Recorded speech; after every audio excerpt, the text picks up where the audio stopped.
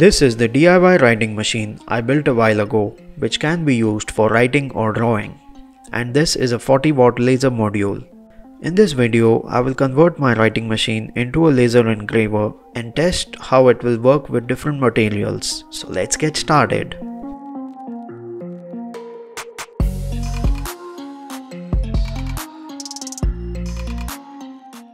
To convert the writing machine, I simply designed a new plate to hold the laser and replaced it with the pen holder plate.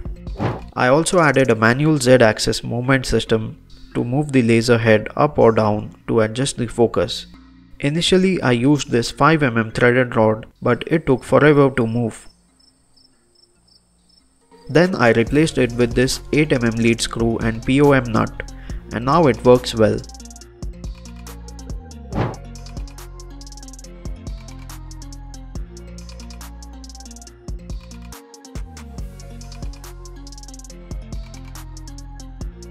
I also replaced the Arduino Uno and CNC Shield control board with this new MKS DLC32 CNC control board from MakerBase, which has features such as wireless control through its mobile app. More on this in another video.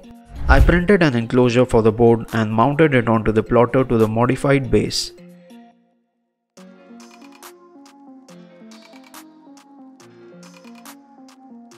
Once everything was in its place, I did the wiring again.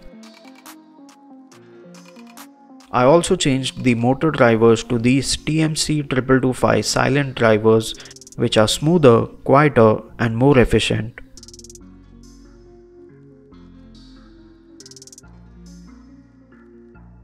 And the machine was ready for use.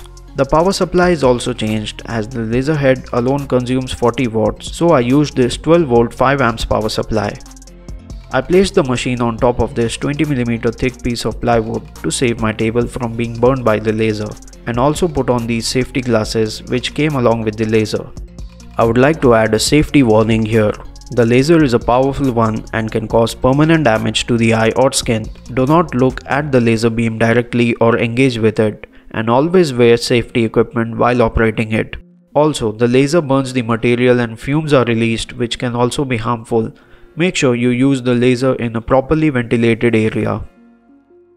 I connected the power supply to the board and connected the board to my laptop via USB. To control the laser, we need a GRBL controller software such as LaserGRBL. I downloaded and opened LaserGRBL and connected to the board using serial connection. Select the right COM port and click connect. In case you do not see a COM port, you will have to install the USB driver. Go to tools, install CH340 driver.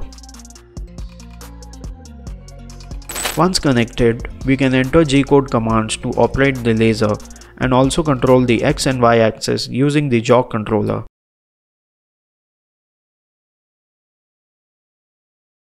Before turning the laser on, we need to adjust the focal point of the laser. This is a fixed focus laser and its focal point is at 3mm above the surface. I used this 3mm thick acrylic sheet to set the focus. I tested the laser on different materials such as paper, plywood, MDF, acrylic sheets, glass and even stainless steel. There are basically two ways to use the laser either for engraving or for cutting. First, I engraved this drawing on paper with 10% power and it was very faint. I did it again with 20% power and the result was much better. I then made this simple box using this online box generator tool. Simply select the type of box you want, enter the dimensions and download the file. In LaserGRBL, you can set the speed, power and number of passes required.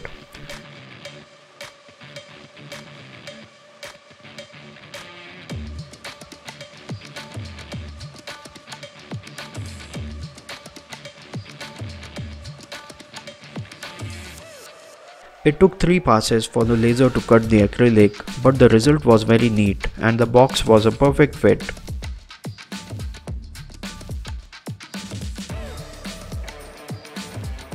I made another cool pirate box with a hinge using this MDF sheet.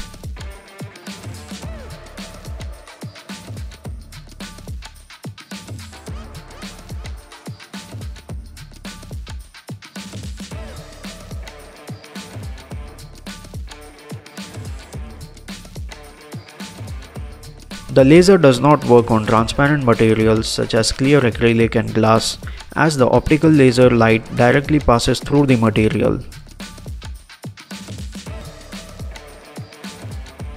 When engraving on any shiny metal surface, just blacken the work area using a flame to avoid any reflections of the beam from the metal surface.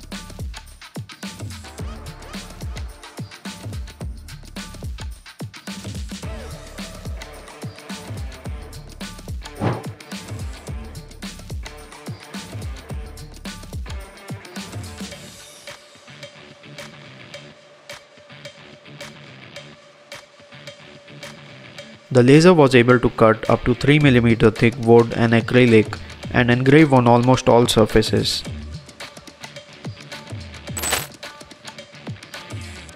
I will further test this laser and share more results with you. As always, you can find the CAD file links for the upgrade in the video description along with the BOM Excel sheet. That's all for today and I will see you guys in the next video.